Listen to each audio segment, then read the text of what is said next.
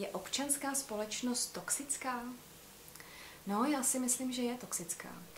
Eh, společnost, občanská společnost tak, jak ji předložil Václav Havel a tak dál, ono to všechno zní hrozně krásně.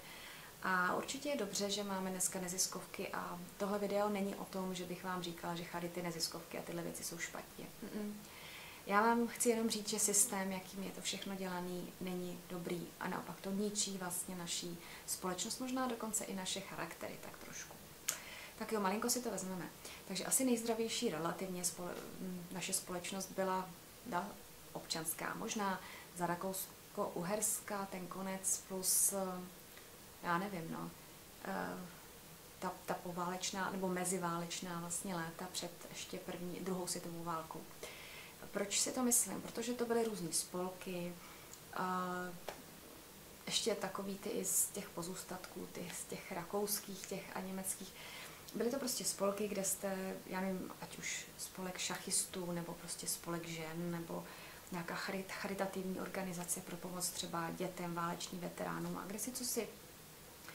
Tak eh, to je všechno občanská společnost. Bez debat to je přesně všechno to, co potřebujeme.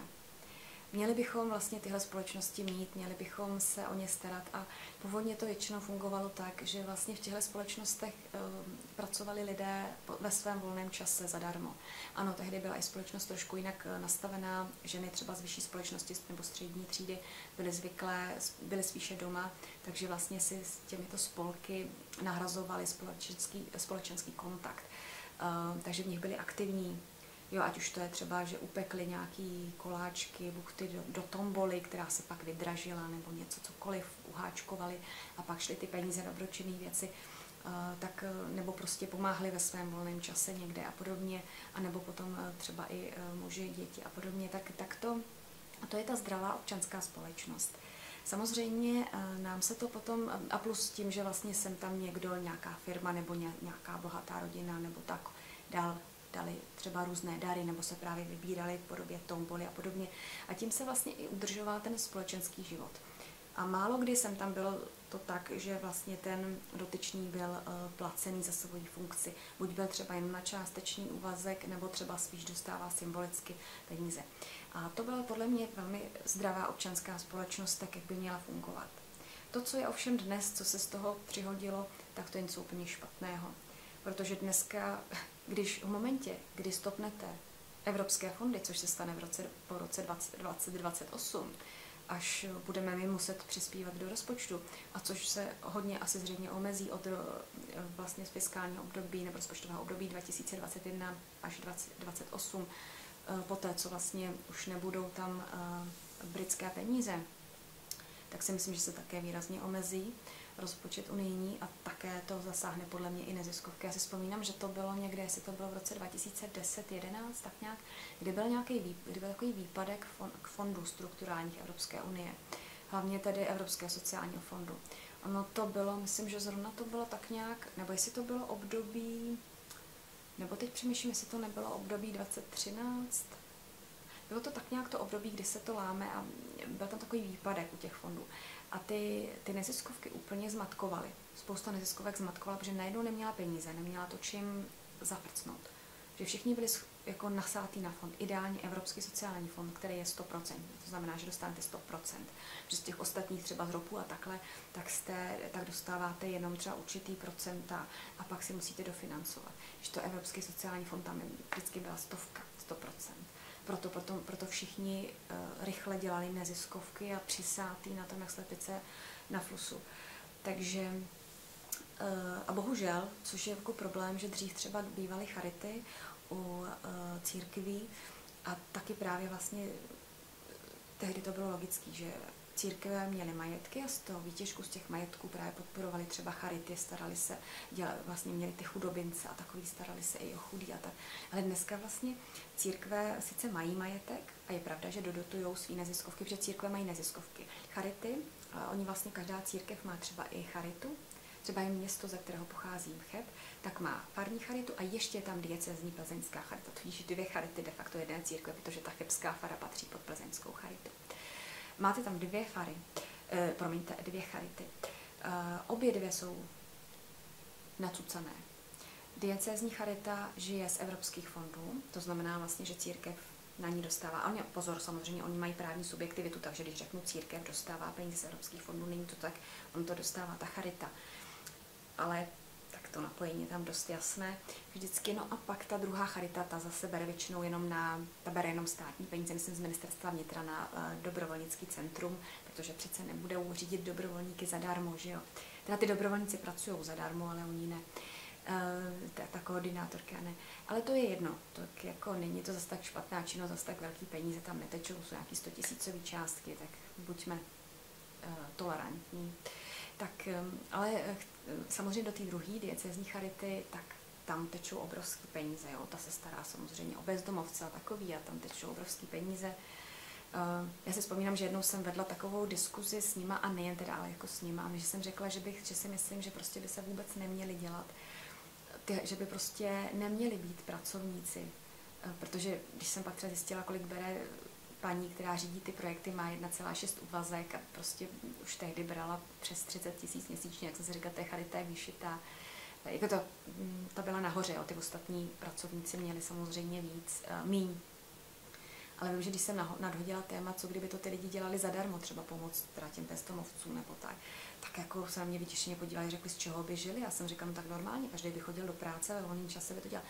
No když jdete do práce, tak nemáte čas. Já jsem řekla, to není pravda, každý si může. Neříkejte mi, že třeba sem tam nevyšetříte týdně třeba dvě hodinky času, jo, třeba o víkendu můžete mít dvě hodinky. A když to takhle udělá každý nebo hodně lidí, tak vlastně máte spoustu lidí, kteří můžou vypomáhat v těchto těch, těch a opravdu tam máte třeba na ten půlvazek jenom toho koordinátora, což není zase až tak úplně špatný jako systém, já to úplně nekritizuju, jo, třeba toho koordinátora dobrovolníků, protože ono s tím jako je práce, to ne, že není, ale jako jo, koordinujete, oni byste, ho, byste měli i motivovat a tak, ty dobrovolníky, rozumím tomu, ale to je ta pravá občanská společnost, podle mě, když to ty lidi dělají vlastně jako z, z radosti, že prostě chtějí ještě po práci někomu pomoct.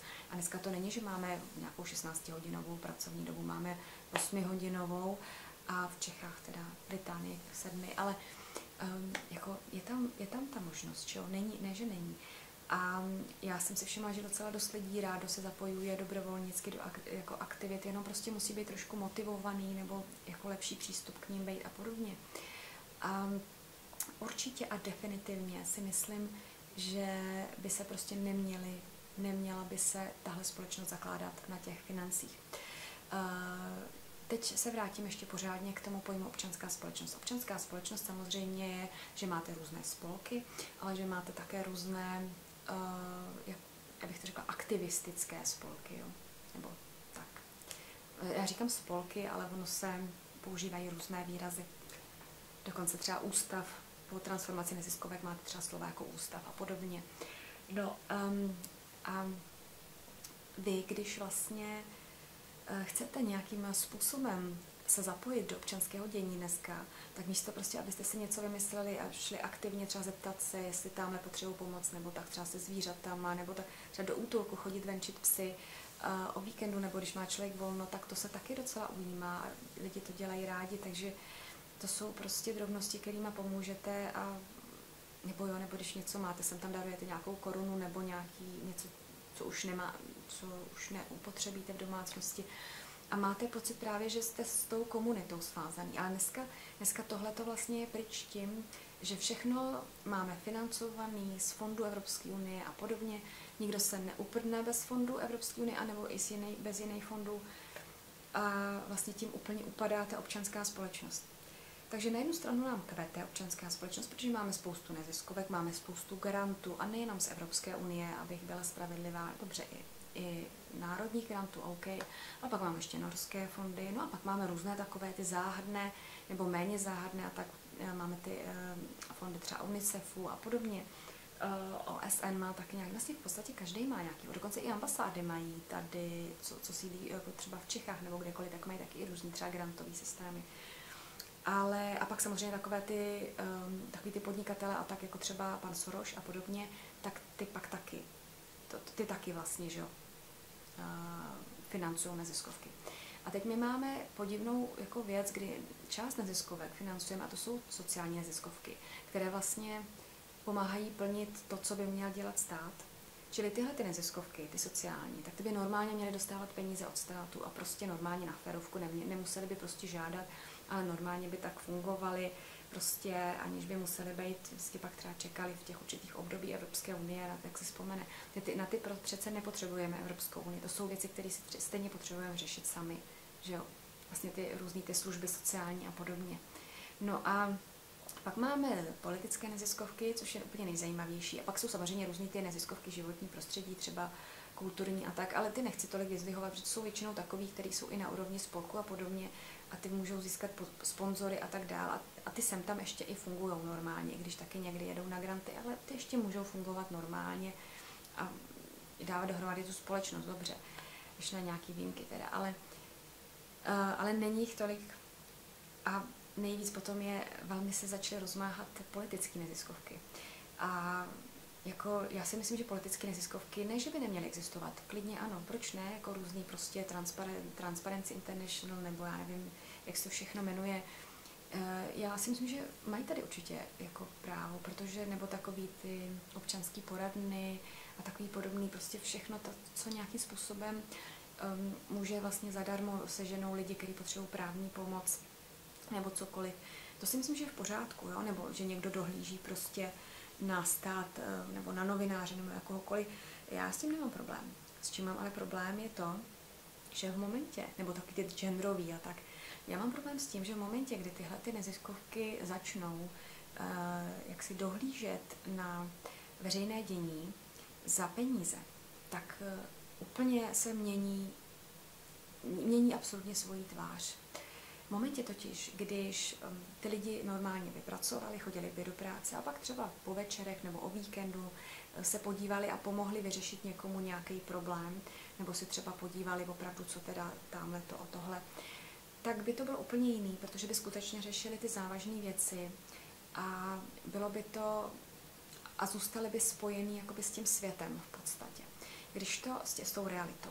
Když to dneska vlastně spousta těch lidí v těchto těch um, politických neziskovkách, tak oni vlastně mají tu tají hlavní práci jak ty neziskovce. Oni jsou vlastně placení za to, že uh, pomáhají řešit nějaký problém. Dobrý, tak oni pomůžou vyřešit nebo řešit nějaký problém, OK, není problém. Jenomže pak nastává situace, kdy tyhle neziskovky musí řešit vlastně oni, aby ukázali těm svým donorům nebo prostě, nebo pomohli pořešit ten grant a podobně, nebo ty peníze jako za grant vykázali, tak, mm, tak oni vlastně musí nějak eh, vysvětlit svoji existenci i mimo, nebo obhájit existenci i vlastně v době, kdy nedělají zrovna žádnou kauzu, nebo žádná zrovna třeba není taková extrémní, jsou třeba menší, ale ty by třeba normálně jako neřešili. A tam je potom moment, kdy oni si začnou vybírat kauzy, které normálně by se neřešily a začnou zbytečně řešit problémy. Já si myslím, že to je třeba tam, kde byl začal, za, započat ten problém třeba s těma, já nevím, 50 pohlavíma. To je prostě klasický případ. Protože normálně něco jiného je prostě pod, poskytnout nějakou podporu třeba uh, gayům, který uh, potřebují se vyjasnit uh, svoji identitu nebo transexuálům a podobně. Pomoct jim nějak. Uh, nebo, nebo udělat nějakou dobře kampaň, aby prostě lidi normálně brali geje, lesby a, a to jako dobrý. OK, proč ne?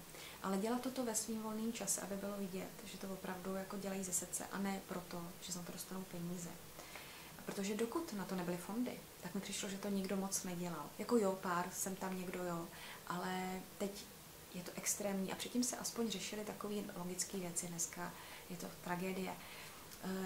Pak se řeší takové věci, jako například to byla ta nedávná uh, kauza, myslím, že to bylo o těch olvejskách, vložkách, kde prostě někdo si dal prvoha práci s tím, že se podíval, že tam je někde jako zrcátko, takový ten znak pro ženu, femine, um, uh, na uh, obalu, přebalu uh, vždycky každých těch jednotlivých vložek, menstruační, myslím, vložky. A um, strašně začal řešit, že, je to, že to není genderově neutrální.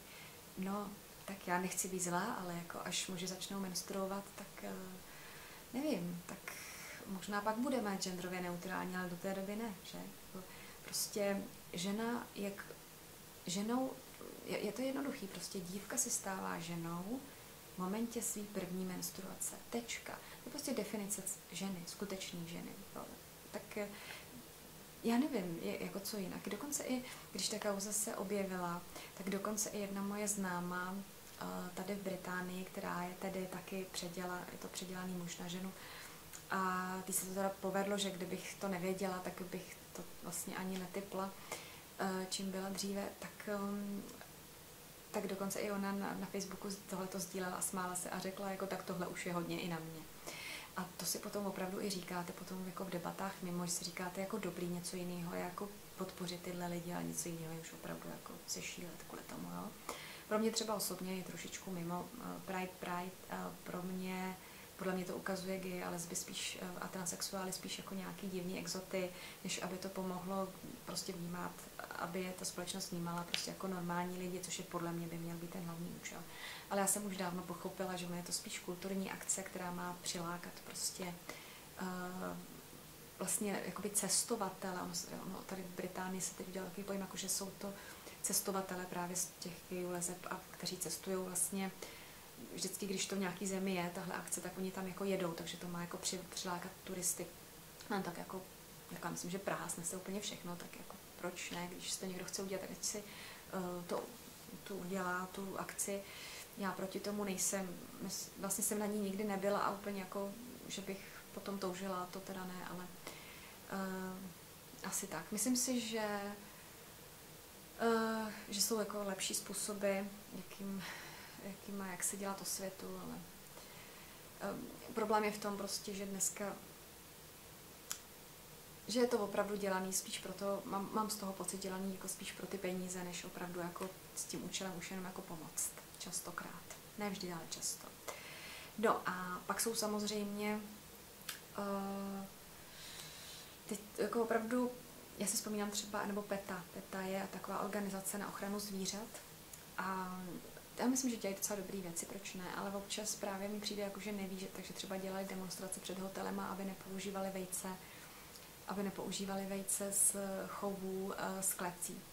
Já třeba osobně, když už jim vejce, já s tím to hodně omezila, ale když je jim, tak si teda taky jim jenom ty, ty spodestýlky, ale opravdu řečeno, ani to není ideální, že jo, nejlepší je prostě jít někam na vesnici, máte-li tu možnost, nebo tady v Británii jsou takové jako farmičky, venku se začínají docela množit a to mi třeba přijde jako i dobrá investice, klidně i pro, pro ty zpropadený granty, že opravdu jsou to takový, jako máte takový pole a máte na něm takový jako spoustu kurníčků. Je ale pravda, že a jo, a ty, ty slepice mají opravdu malinký výběh a jsou tak jako přirození, že máte ty slepičky, toho kohoutka, který hlídá a tak, jo. A je pravda, že Británii v určitých oblastech je, nejsou tak zlý zimy, takže to jde, jo, ale třeba na severu už by to bylo horší. A nebo třeba na severu Evropy, takže chápu, ale uh, ideální je toto, a nejsou ani o tolik dražší ty vajíčka zase, jako, ale je to dotovaný, ale tak tam to pochopím. Ale mm, prostě i tak si myslím, že prostě jako ty demonstrace třeba před těma hotelem mi přišlo taky divný, protože jako prostě, nevím, no, byl, přišlo mi to taky trošku zbytečný a trochu hysterický a mm, občas opravdu z těch věcí cítím, že to je dělané jako jenom proto, aby se mohlo ukázat těm sponzorům, že jste tu akci udělali. Pardon, jaký. Takže jo, že můžete říct, že jste tu akci udělali. Ale tady v Británii naštěstí neziskovky teda je pravda, že tady je strašně málo neziskovek eh, financovaných z evropských, z evropských fondů.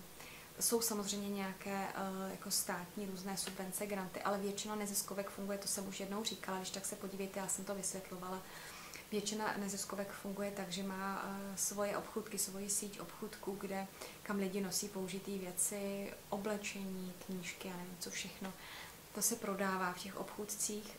Prodává se to samozřejmě, jsou to second handy, takže se to prodává za babku a lidi za babku dneska může každý chytit za slovo, takže opravdu za pár korun a liber a někdy i penny a, a prostě chodí tam i chudší lidi, kteří by třeba neměli, anebo někteří sběratelé, kteří tam třeba najdou kousky, který jinde třeba nenajdou. A vlastně ty obchody tím, že vlastně jsou, nemusí platit daně, často mají i snížený nájmy na těch hlavních třídách, což se ale zase na druhou stranu taky docela kritizuje, A oni vydělávají obrovské peníze na tomhle například. A plus má samozřejmě ještě svý fundraisery, který získávají peníze od jednotlivých dárců či firm. Takže tady opravdu se, tady to zůstalo, že hodně ta občanská společnost je taková i samovýdělečná, že nikdo nečeká moc na co, co přijde. A já si myslím, že české neziskovky by se měly tohle naučit, protože minimálně od roku 2028 to budou potřebovat definitivně a možná i dřív. A řekla bych, že v Čechách to nikdo moc neřeší, že jednoho dne ty fondy opravdu už nebudou a že skutečně se lidi budou muset i pak obhájit, jestli ta Evropská unie. Já mám trošku pocit, že v Evropské unii vždycky, když někdo chce obhájit z Čech, proč jsme v Evropské unii, tak vždycky začne ohledně fondů a já si myslím, že to je špatně, protože e, jako pak působíme jako úplatný trdla. To není dobře. No tak jo, tak eh, že podle mě to je problém občanské společnosti. Já samozřejmě rozumím tomu, že tady byla během těch 40 let komunismu, tady byla prostě změna, že jo, protože v podstatě co zůstalo, Český červený kříž, eh, pak byly třeba různý svazy žen a podobně, pak byly samozřejmě v podstatě teda i skřičky, pionýr, svazarem a tak dál. Um, já to chápu, jo, byly, ale byly zase různé brigády, kam jste vlastně sice povinně, volitelně chodili, v podstatě povinně, a, takže vlastně byla ta činnost taková hodně nucená. Vlastně museli jste chodit, museli jste dělat hodně dobrovolně. Uh, ono třeba při těch akcích byla, byla třeba legrace, takže to nebylo úplně mimo, ale pravdou je, že to bylo v podstatě povinný. Takže je, je logický, že a i se tak vysvětluje, že vlastně po revoluci spousta lidí, po 89. prostě spousta lidí, když nemusela, tak si fakt dávala vody a nikam se nehnula do žádných, uh, do žádných uh, neziskovek a takový a oni se pomalu i budovali, chápu.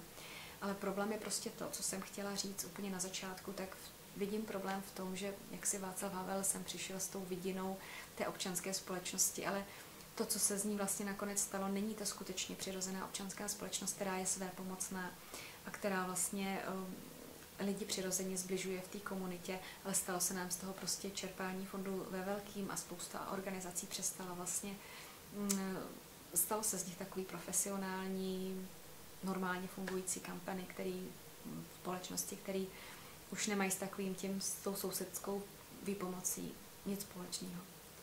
A to si myslím, že je chyba. Že se vlastně víc nestaráme o druhýho, protože víme, když se něco stane, že jo, tak jako zavoláme záchranku, což je v pořádku, ale uh, vlastně nemělo by to tím končit ten náš zájem o to, co se vlastně dál děje, třeba tomu sousedovi a podobně zase nemělo by to se otočit do toho, být vlezlý, ale spoustu věcí necháváme na státu a e, doufáme, že to za nás vyřeší, ale přitom spoustu věcí si můžeme právě vyřešit sami. Když nám někde kácejí stromy nebo právě řešíme prostě ty vejce, že, že nechceme to nebo lepší kvalitu potravin, tak to všechno vlastně můžeme i to nemusíme prostě nutit stát, aby dělal nějaké normy. My prostě můžeme přestat některé věci kupovat, nebo v některých obchodech kupovat, můžeme to takto dělat sami. Třeba právě to tady v Británii pořád funguje. A takový to, um, že vlastně ti lidé ví, že můžou se aspoň pokusit a že opravdu někdy se podaří některé věci takhle vyřešit. A to je ta občanská společnost. Ale to, co vlastně tady tak je to v podstatě akorát takový prapodivný aktivismus, který víte, že pomalu opravdu víte, že přestane. Politický aktivismus by v Čechách podle mě moment, přestal v momentě, kdyby přestali dostávat ty neziskovky dotace, protože by to nedělali ty lidi zadarmo, což je na tom to tragický, protože to znamená, že to neberou tolik jako, pos, tolik jako poslání, jako by mohli většina z nich. Já jsem opravdu z legrace říkala, zkuste těmhle neziskovkám stopnout peníze, uvidíte, kolik v nich zůstane pracovat lidí což je tristní. Já si vzpomínám třeba, že když jsem řešila uh, vlastně ty dotace pro, ty, pro Romy, tak uh, já vám řeknu jediný, možná se o tom rozpovídám asi zvlášť, ale můžete být klidný skutečný peníze jako pro Romy, který třeba Evropská unie sem posílá, se často jako k Romům vůbec nedostanou nebo na ty projekty. Já vám vysvětlím, jak se to dělá ve zvláštním tom, protože jsem byla od toho velmi blízko a obávám se, že to není je to vlastně tragický ze všech stran, jak z Evropské unie, tak z našich, jak, z, jak vlastně z jedné strany z té romské je to tragédie, tak je to tragédie vlastně z té druhé, řekněme, z té naší.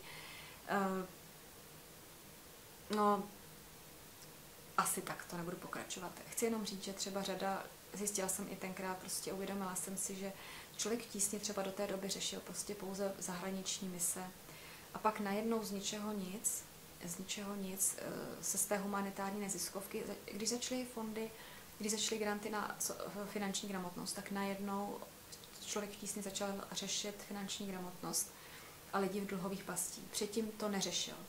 Jakmile začaly peníze na Romy a romský takový ty školky, ty stromečky, jak se to jmenuje všechno, prostě na Romy a jejich integraci, včlenění, tak najednou začal člověk v tísni uh, řešit ty problémy. Podívejte se na, uh, opravdu na člověka v tísni od začátku. Člověk v tísni nepracoval s Romama, nepracoval pro lidi v dluhových pastí. Oni opravdu byli, to byla jenom že ta neziskovka z těch lidovek, kam jezdili ty novináři, vždycky z těch oblastí pro postižených a kde se zrodila ta myšlenka toho člověka v tísni, který potom, jakože vznikl při české televizi, lidi si pak myslí, že to vzniklo v české televizi, není to pravda, je to z lidovek, ale to jedno. Důležitý je, že tenkrát to byla vlastně ta opravdu původní iniciativa, bylo to hezký a strašně dlouho ten člověk tísni fungoval jako úžasná neziskovka, kde jste prostě smekli pro klobouk. Ale pak najednou se stalo něco šíleného a oni začali brát prostě dívali se, kde všude se dávají peníze a podle toho začali dělat najednou jako projekty, které původně vůbec nedělali.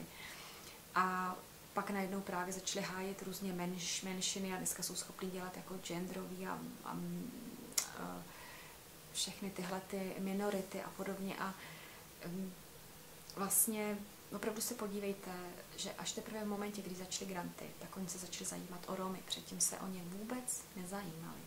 Všimněte si to. Co se týče projektů, ne. Taktéž fakta finanční. Opravdu se na to podívejte, za, jděte do jejich výročních zpráv a tak dále. Je to hodně zajímavá záležitost. A nejsou teda jenom samotní, to byly i ostatní neziskovky, se jako romskou problematiku v Čechách nikdo nedělal. V momentě, kdy na ní začaly peníze proudit, tak najednou skoro každý dělal projekty s Romama. Jenom proto, aby mohli inkasovat. Jako jinak by tady prostě zdaleka spousta věcí vůbec nebyla řešena. Lidi jsou strašně jednoduchí, dostanou peníze, vyhlásíte granty. I kdybyste, kdybyste dneska vyhlásili granty, třeba protimigrační, každý, kdo bude dělat nějaký protimigrační, prostě cokoliv, grant na kampaň proti migrantům v Čechách, um, grant na který ale jako tak, aby to nevyznělo rasisticky, ale takový jako, nebo grant na, možná bychom to mohli nazvat, na, grant na podpoření patriotismu, aby to třeba neznělo takhle, nebo grant na to, jak, um, jak si uh, uchránit jako homogenitu v zemi, aby to znělo nějak jako lépe vznešeně. Vsaďte se, a, a, a v ten ve stejný moment ještě ideálně by skončily granty na takovou tu multikulturu a tak. Vsaďte se, že všechny ty neziskovky, skoro většina z nich, věřím tomu, co dělají ty multikult, multikulty a, a, a, a menšiny, já nevím, co všechno, a uprchlíky. Skoro všechny. Myslím si, že by tam pár výjimek bylo, ale skoro všechny by najednou přestali tohle dělat a najednou by dělali přesně to, co, na co jim vydáte peníze. Koukali byste. Já bych se vsadila. Kdyby toto bylo, vsadím se. Stačí dát lidem peníze, oni dělají to, co chtějí. A nejvíc to, a nejlépe to funguje právě v neziskovém sektoru. Právě u těch lidí, kteří za tu pravdu a lásku by položili podle svých slov život. Opravdu, věřte mi. Neříkám, že to je u všech, ale skutečně takhle tristní stav je a je to i lidská povaha, takže se na ty lidi nemůžeme zlobit, ale je to prostě pravda. My bychom si to měli přiznat. Věřte mi, že já jsem jako v nezisku strávila jako dost velký čas na to, abych přišla o veškeré iluze. O ten zbytek, o který mě nepo, neobrala iluze novinařina, práce v marketingu a tak dále. Tak jako věřte mi, že ten zbytek iluzí mě obrala nezisková sféra, granty Evropské unie a další. Takže bohužel musím říct, že eh, občanská společnost je dnes v podstatě v tomhle slova smyslu spíše toxická, než taková, jaká by správně měla být. Taková ta komunitní a soudržná a normálně human, humánní, lidská. Obávám se, že to tak je. Takže prosím vás, kdo nemůže, nemusíte čerpat granty, zkuste se podívat po jiných zdrojích, více začlenit prostě. A když už děláte nějaký komunitní projekt, zkus, projekt, zkuste ho prostě udělat zadarmo bez grantů. Já jsem to takto dělala velmi často a je to osvěžující, garantuju vám to. To vlastně je to takový předvánoční čas, charita, že jo? No, musíme si nalít čistýho vína. Hezký den, hezký předvánoční čas, advent vám přeje Janina z Londýna.